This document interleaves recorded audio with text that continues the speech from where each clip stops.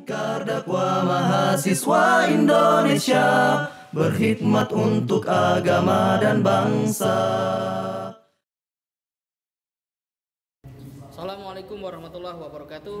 Saya Imam Nawawi, Ketua Umum Pemuda Hidayatullah, dengan bangga dan mendoakan mengucapkan selamat dan sukses untuk Lingkar Dakwah Mahasiswa Indonesia yang menyelenggarakan muktamar keempat dengan tema membangun pemuda robbani menuju Indonesia beradab.